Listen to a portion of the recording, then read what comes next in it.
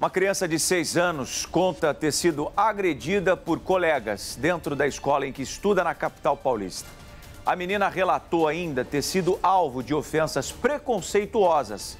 Ela tentou esconder os machucados da mãe, que reclama da postura que a instituição de ensino teve diante do caso. Quem traz os detalhes dessa história é o repórter Marcelo Bittencourt. Vamos ver. Estamos no Cambuci, aqui zona sul da capital paulista. O incidente aconteceu no início do mês, exatamente aqui, ó, nessa escola estadual. De acordo com a versão da estudante que foi agredida, uma garotinha de 6 anos de idade, ela estava no colégio quando esbarrou num coleguinha. A partir daí, ela teria sido agredida verbalmente e também fisicamente.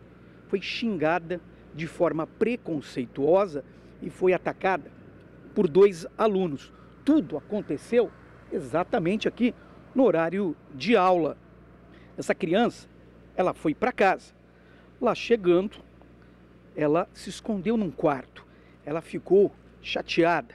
Ela ficou com medo. A mãe logo percebeu o comportamento da filha e foi conversar com a criança.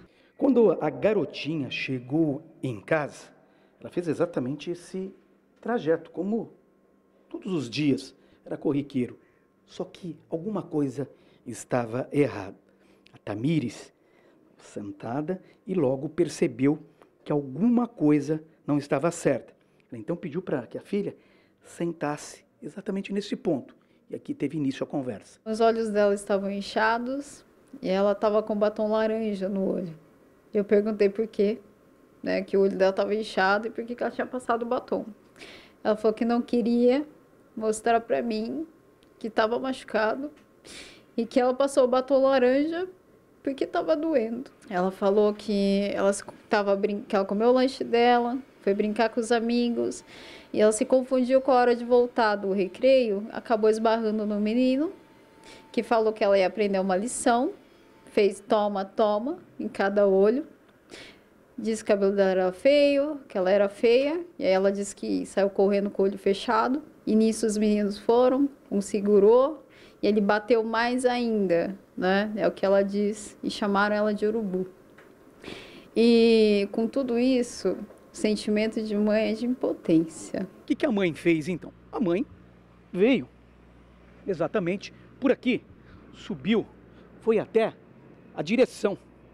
Lá chegando, de acordo com a versão da Tamires, mãe da criança, ela foi muito mal atendida. A mãe ainda pediu algum tipo de explicação, se é que tem alguma explicação, porque a escola não teria comunicado a mãe, a família, de que a filha de seis anos de idade foi agredida. Tentaram mostrar, falar para ela, né, que, que a culpa era dela, ah, se ela não falou na hora, como é que a gente vai resolver? E eu falei, ela está com medo. A última palavra que ela ouviu foi: leva ela para se tratar. Toda essa agressão, eles ainda passaram com ela de sala em sala, expondo muito mais do que ela já tinha vivido ali. Eu não tenho resposta, eu não sei o que está acontecendo com a minha filha, eu não sei por que, que a escola é tão despreparada. E o que deveria ser apenas um desentendimento, uma agressão que a escola tomaria frente para tentar solucionar, acabou se transformando num caso de polícia. Ela está sendo recebida pela sociedade dessa forma. Hoje ela está com medo de passar na frente da escola. Ela não consegue passar. Ela está sendo apresentada para o mundo agora. É seis anos. Muito obrigado. A gente vai continuar acompanhando o caso. Nós tentamos um contato com a escola. Somente a Secretaria Estadual de Educação se pronunciou através de nota, dizendo que vai acompanhar todo o processo e que já foi instaurado um procedimento administrativo.